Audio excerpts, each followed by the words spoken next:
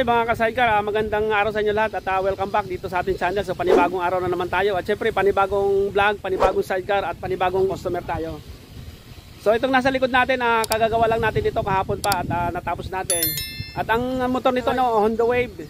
So yung mana natin halos ano, tatlong sunod-sunod tayo at may darating pa mga tatlong sidecar na ganito rin ang kulay. Bagay na bagay din sa kanyang motor na black red din yung kanyang motor. Halos pito, pitong sunod-sunod na pula to. Nagpahinga lang tayo sa isang blow. May ginawa tayo ng kulay blow na Rosy Surf na 100. So pagkatapos ng blow, pula na naman, ito na naman. Kaya ito talagang pinaka ano natin, paboritong kulay na gusto ng ating mga customer.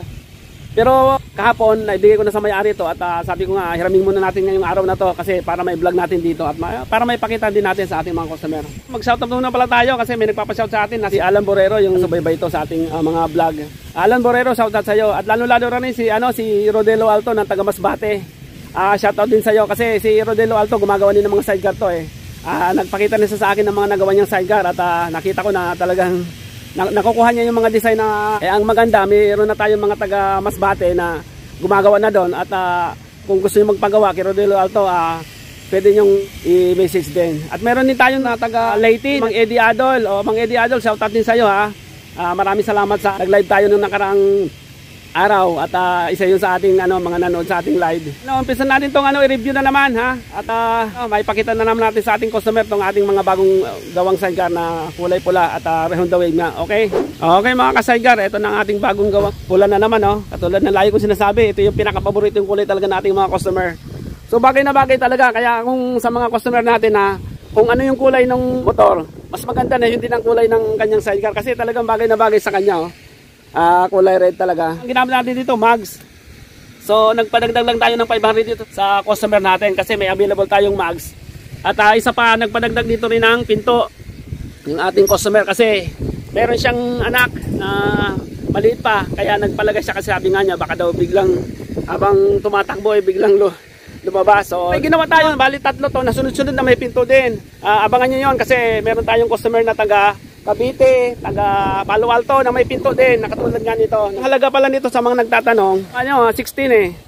Kaso nagdagdag nga ng 500 yung mayari at saka yung pinto. At saka ito pa, sandalan. Sa 16,000 kasi wala to eh. Pero nagpadagdag ng mayari, uh, pinadagdag lang natin ng konti siya. Kaya may sandalan na ito. Isa pa sa pinagdagdag ng mayari ito, yung carrier.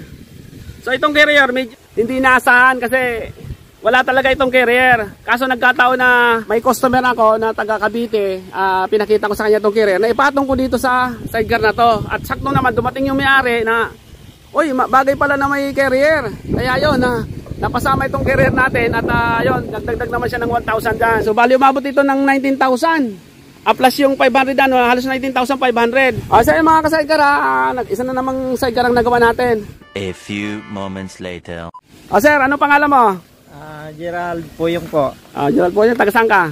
Dito sa Mabuhay, Mamatid, Cabuyao, ah, Laguna. Ah, okay. Ang probinsya mo? Ah, Iloilo. Oh, yun, taga uh, Ilonggo pala to si oh. Okay. Oh, shoutout mo. Baka may shoutout. Asawa mo pala, shoutout mo sa, sa Saudi. Shoutout pala sa misis ko sa Israel. Oh, ano uh, pangalan? Mary Grace Miraflor Puyong. Oh, okay. Okay. Oh. ah, Sir Gerald, maraming salamat ano. O, sinama natin to si Sir Gerald kasi ano nga sabi ko sa kanya kahapon na naibigay na natin sa kanya itong sidecar na to kasi nga uh, medyo excited na yung kanyang anak. Sige, uh, tinapos ko to kahapon ng hapon tapos sabi ko um, iuwi nyo muna sa inyo at uh, balik ngayong alas 9 at uh, ibablog natin dito sa ating paboritong lugar nga ito. Magandang lugar na ito. Parang ano rin to, eh, parang Loyola o Memorial Park din to eh. Maraming salamat pala sa panonood dito sa ating panibagong video na naman at uh, abangan nyo na naman yung ating mga susunod na mga video kasi meron tayong Honda Wave na naman at meron ding Honda Beat na taga Cavite. At yung sa Palo Alto naman ha, Honda Wave din yon at may susunod pa may kausap din tayo na sunod-sunod nga ito pula na naman. Kaya magsasawa kayong mga kasaygar ha sa ating mga binablog ngayon dahil puro pula puro pula talaga. Pero talagang gano'n dahil sabi nga eh ang sinusunod natin dito yung customer kung anong kulay talagang gusto nila. So yun, hanggang dito lang tayo no at uh, ito i-road test pala natin si Sir para Oh Sir Gerald, road test mo muna. Ha? Yes sir. Road test mo kung anong performance tong kung sabay na road test mo na naman to pero sige, i-try natin ulit i-road test mo dito kasi tahimik naman tong lugar na to at walang gaano sasakyan no. O sige,